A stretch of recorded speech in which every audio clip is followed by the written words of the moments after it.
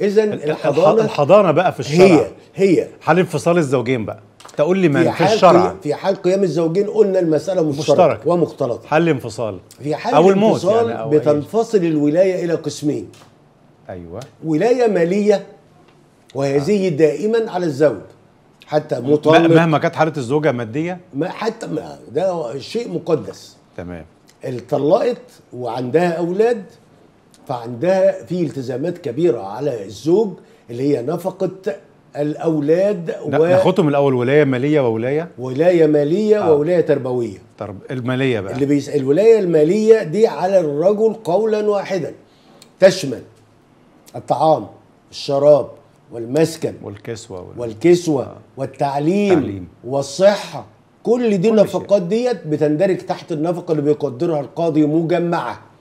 وكلما تطورت الأمور وزاد الغلاء أو الطفل ارتقى إلى مرحلة أعلى ت- تلجأ الزوجه للقاضي لكي يرفع قيمة النفقة الشهرية. آه هذا شرع. ولو الزوج مش قادر. آه، هو القاضي ال- ال- بيراعي ال- القاضي القانون. ينظم يعني ولا أيوة، دي عملية تقديرية سلطة تقديرية؟ سعادتك اللي بي... تلزم الزوجة عشان آه. تاخد نفقة إنها تروح تجيب حقيقة دخل الزوج مفردات مرتب إما. مرتبه إما أملاكه. عنده مصنع عنده عمارة بتدر دخل ومش عارف يخبيها الحاجات دي كلها. فبتقدم للقاضي هذا وهو بسلطته التقديرية يضع نفقة ولذلك النفقة تختلف من امرأة إلى أخرى. في زوجة بتاخد في الشهر 3000 جنيه و5000 جنيه و10000 جنيه وأكثر. وفي زوجة بتاخد 500 جنيه. اللي ينفق ذو ساعة من ساعته من. ساعته الله كل يكرمك. عملية تقديرية. تمام.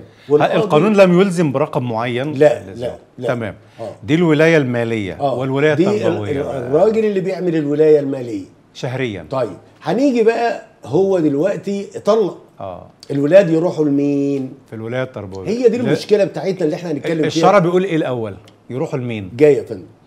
آه ال- ال- الولاية التربوية هنا. آه. الشرع اتكلم بتدرج جميل جدا من أول حتى لو اتطلقت الست وابنها عنده سنة إلى ما شاء الله.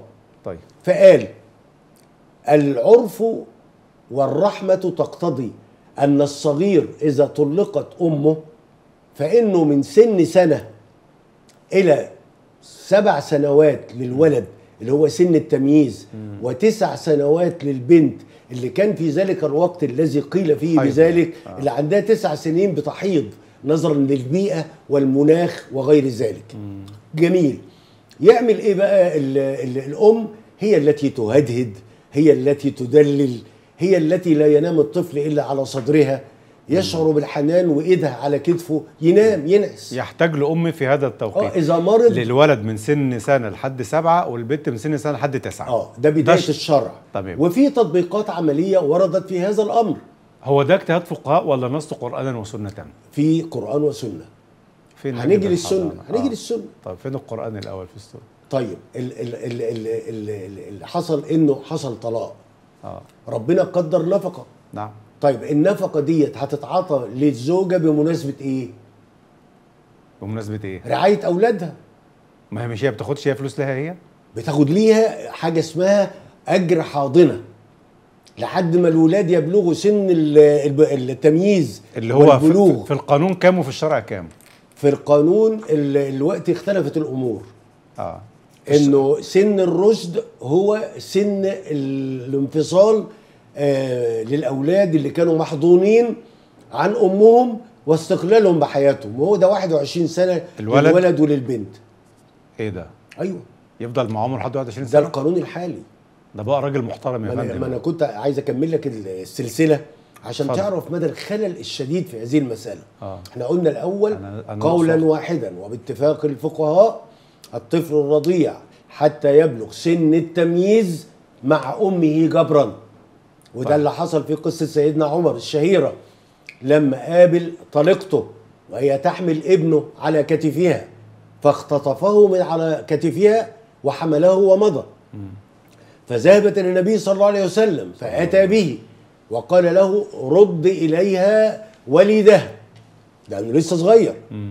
وبعدين قال له لا ريح بطنها وجسدها أطيب عنده من رحمتك ونفقتك يعني قال له هي أفضل له دلوقتي في الوقت ده يموت الولد لو مرض وأمه مش جنبه بتعمل له كمادات وبايدها الحنونة وكذا ما ما يخفش.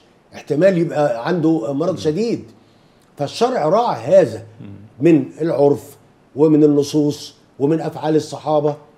واخد بالك؟ لحد كام سنة؟ أيوه جميل جدا. قلنا سبعه آه، سبعة ويدفع وتسعة. ويدفع لأبيه بقى. نعم. بعد كده الشرع قرر وبالذات بالنسبة للذكور إنه الولد وكمان البنت اللي محتاجين خشونة الرجل مش معنى الضرب والإيذاء لا.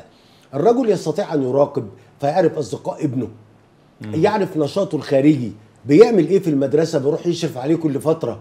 بيشوف الأجهزة اللي معاه في البيت اللي شاريها له بيعمل بيها إيه؟ البنت آه، صحيح سرها مع امها بس بتخشى أبوها. فلو خايفة وهي ماشية في الشارع لو ولد زميلها في المدرسة كلمها تقول له بابا يشوفني يذبحني. آه، مش هيذبحها ولا حاجة بس عندها نوع من الرهبة الخشية والخوف. الخشية والإحترام للأب.